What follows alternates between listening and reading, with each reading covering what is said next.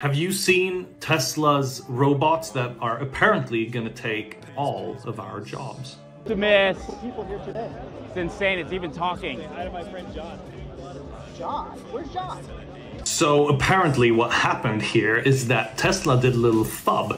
What they did was that they apparently had a person that was actually controlling the robot in the background. So we are not quite there yet, but we are very close to this actually being reality.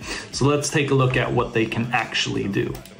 But fundamentally, at scale, the Optimus robot, you should be able to buy an Optimus robot so these robots are actually going to get out into the labor market within a very short while and start becoming our new colleagues. And I honestly think that this is a great thing because now we can focus on what we feel is more valuable. No longer do we have to fold the laundry, we can actually have a robot doing this ourselves. So honestly, do you really love folding your laundry?